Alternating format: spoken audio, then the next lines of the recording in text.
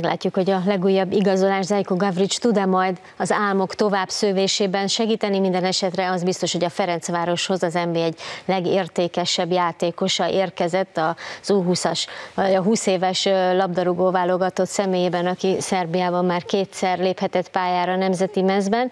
Íme ez a névsor, és hát azért az is sokat mondó, hogy a legjobb öt játékos, a legértékesebb öt játékos a magyar bajnokságban, mind a Ferencvárosban játszik. Meglátjuk, hogy szerdán majd mit tud tenni a Ferencváros a Young Boys ellen.